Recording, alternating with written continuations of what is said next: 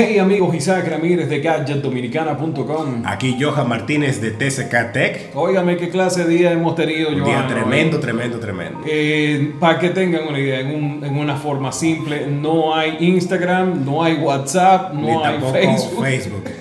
O sea, la gente está vuelta loca, mano. En realidad hay mucha gente que ha descubierto que Twitter existe en el día de hoy Así y que mismo. todavía funciona. Y sí que le han sacado provecho. Eh, sí, by the way, Twitter lanzó hoy su, una cámara, la actualización de su cámara, que ahora es- puedes hacer algo similar a Stories. Ajá. Así que, pero de eso vamos a hablar un poquito Bueno. más tarde. Pero realmente lo que está ocurriendo hasta este momento es una caída mundial de eh, Todas los- las redes sociales que están asociadas a Facebook. Así mismo. Así. Eh, es como poner todos los huevos en una sola canasta y que alguien lo pateó y se lo llevó de encuentro. Uno de los primeros sitios web en dar con esta noticia fue precisamente Downdetector.com.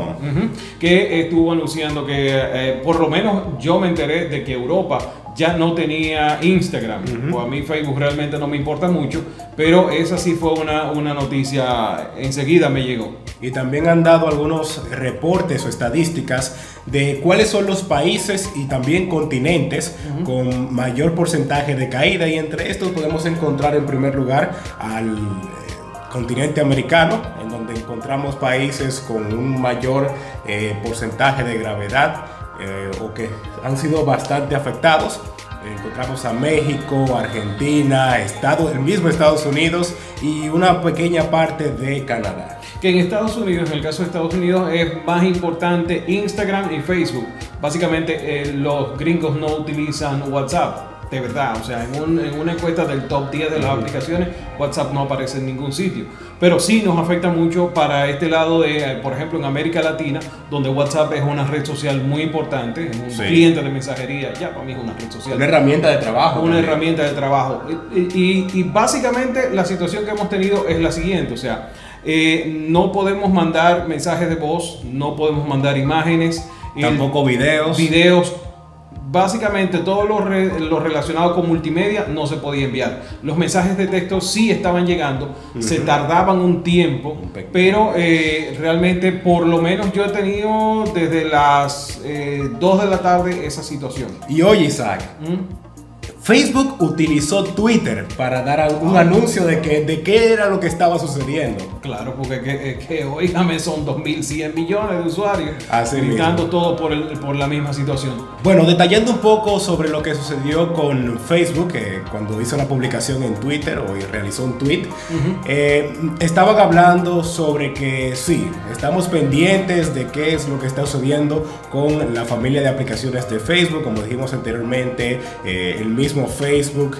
También encontramos a WhatsApp e Instagram, que es una de las aplicaciones más utilizadas hoy en día. Bueno. Dijeron de que están eh, trabajando en poder resolver este problema eh, lo más pronto posible. Así que luego de eso realizaron otro tweet diciendo o confirmando de que no es un ataque de DOS. Ah, eso es muy importante. O sea, no son los hackers. A Facebook lo han hackeado Sí. de todas formas el año pasado y el lío de Cambridge Analytics y todo eso, pero esta vez no es un ataque de Entonces, ¿Cómo si no es un ataque de hack, ¿qué viene siendo?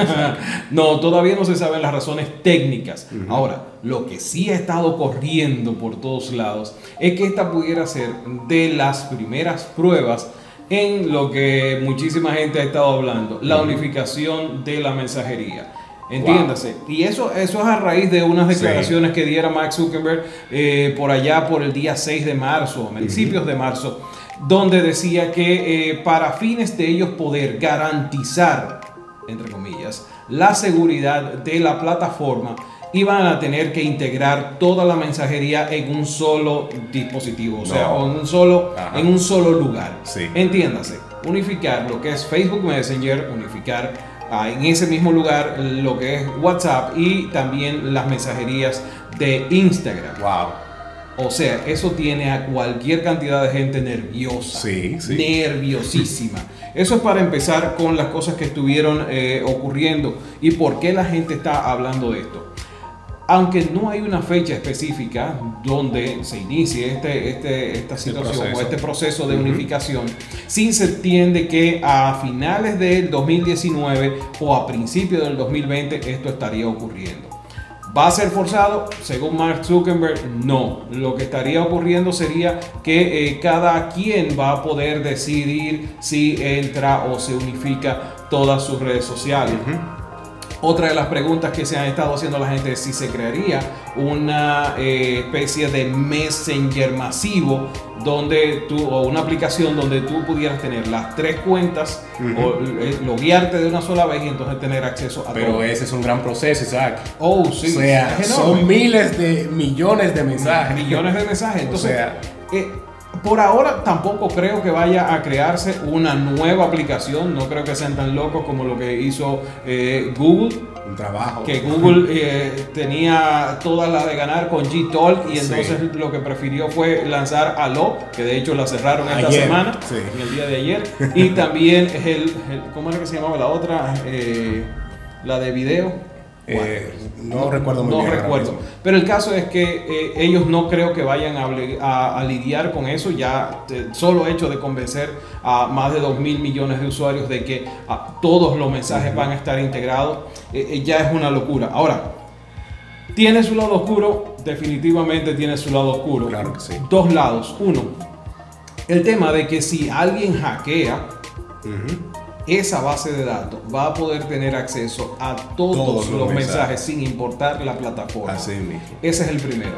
El segundo es el tema de la, relacionado con la privacidad y es básicamente ahora Facebook va a saber enlazar a perfección con quién hablamos, dónde hablamos y de dónde hablamos. O sea, ya ellos tenían un approach importante al momento de adquirir a eh, WhatsApp y unificar las bases de datos de WhatsApp con la de Facebook. Y de hecho creo que la semana pasada hablábamos sobre el tema este de que el, número de teléfono asociado a tu cuenta de Facebook también. No, lo vas a poder borrar. No.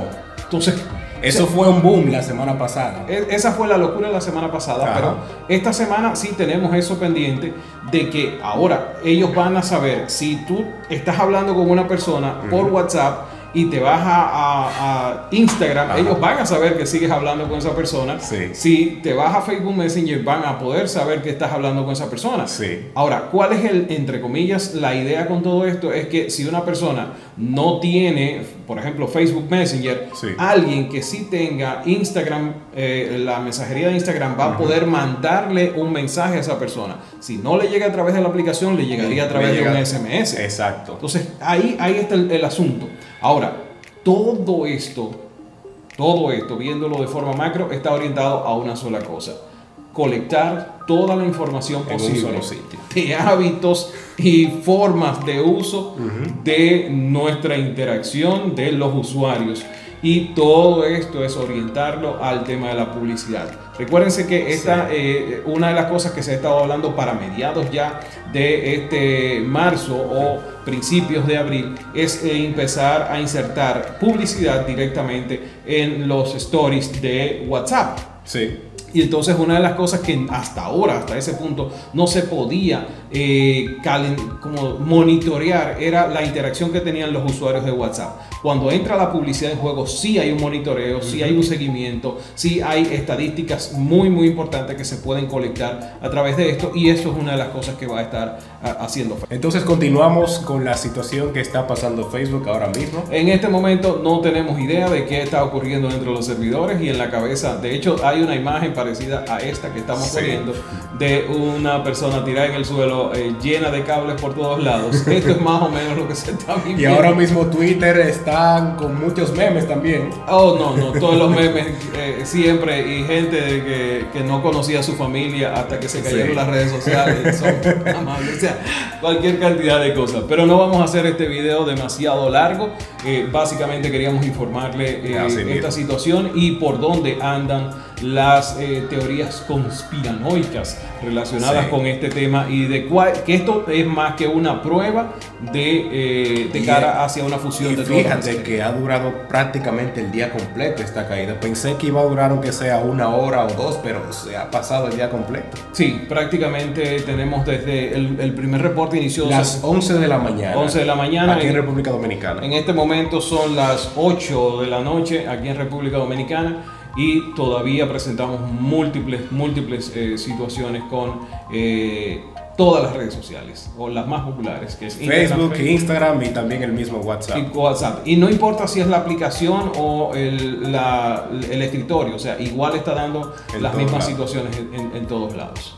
Así que me pueden encontrar en todas las redes sociales como TCK Tech. Ahí estamos subiendo mucho contenido sobre tecnología. En mi caso, arroba Isaac Ramírez, tanto en Twitter como en Instagram, gadgetdominicana.com. Ahí tienen muchísima información en detalle de todo lo que hemos hablado. Exacto. Así que nos vemos en una próxima. Hasta una próxima.